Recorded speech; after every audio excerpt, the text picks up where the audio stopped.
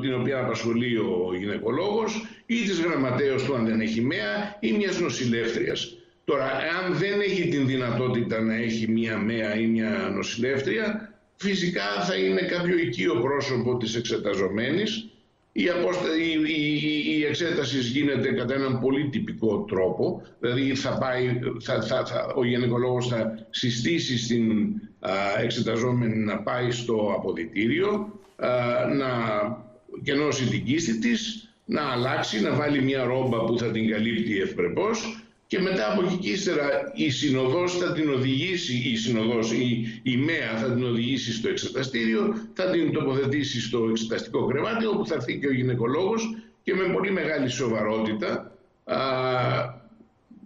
και, θα, και θα λέω και με καλόν τρόπο αφού της εξηγεί βήμα-βήμα τι πρόκειται να κάνει, δηλαδή θα βάλει το κορποσκόπιο, το μητροσκόπιο, ότι θα εξετάσει τον κόλπο της, θα πάρει το τεστ Παπα-Νικολάου, αν πάρθει το τεστ Παπα-Νικολάου, θα κάνει την αμφίχειρη γυναικολογική εξέταση και θα της εξηγεί τι βλέπει, πώς το βλέπει, τι κάνει. Θα της κάνει και ένα υπερηχογράφημα, αφού της εξηγήσει ότι θα κάνει ένα υπερηχογράφημα και αφού τελειώσει αυτή η διαδικασία θα σηκωθεί η κοπέλα, και θα πάει στο, στο αποδητήριο να αλλάξει ρούχα και θα έρθει στο γραφείο να μιλήσει με τον γυναικολόγο. Κύριε Στρατάκη, Δεν είναι...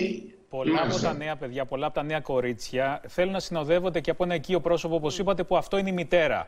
Πολλές φορές όμως, επειδή όπως είπατε, ξεκινάνε σε μια, τη σεξουαλική τους ζωή, δεν θέλουν να αποκαλύψουν στους γονείς τους κάποια πράγματα. Εκεί έρχεστε σε δύσκολη θέση. Τι γίνεται; Μπαίνει η μητέρας στο εξεταστήριο, δεν μπαίνει. Ποια είναι η δική σας θέση; Όχι, όχι, όχι. Αυτό, ε, εκεί ακούω την επιθυμία της εξεταζομένης. Αν εκφράσει την επιθυμία η κοπέλα να έχει τη μητέρα της μαζί, θα είναι η μητέρα της μαζί. Αν εκφράσει την επιθυμία να μην είναι μαζί, δεν θα είναι μαζί. Δεν είναι απαραίτητο να μπει μέσα ούτε στο γραφείο μου, ούτε στο εξεταστήριο. Ε, η, κοπέλα όμως θα είναι με την ΜΕΑ μου, οπότε δεν, θα είναι με, και, και με κάποια άλλη παρουσία. Θα έχει περιπτώσει μια παρουσία, ένα στήριγμα που μπορεί ναι. να την κάνει να νιώθει λίγο πιο άνετα σε αυτή την πρώτη αμηχανία της πρώτη επίσκεψη. Ακριβώς. Κύριε Στρατάκη, να σας ευχαριστήσουμε πάρα πολύ. Καλή σας συνέχεια.